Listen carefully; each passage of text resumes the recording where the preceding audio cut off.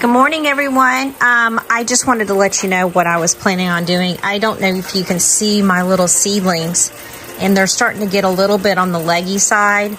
So basically, I'm going to now up pot them, and this is what I'm going to do: is I'm going to take these solo cups.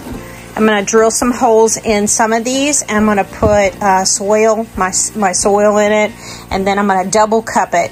So basically this would be the bottom, and this would be the one with the holes in it. Doesn't have it right now, but and then that way I can put water in the bottom and have a self-watering system. See.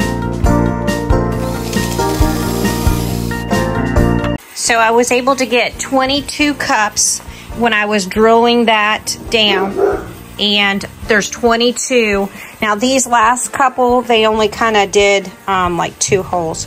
And they um, and I only have these to do the double. So um, I'm gonna have to probably go get some more cups. But I just wanted to show you how how easy that was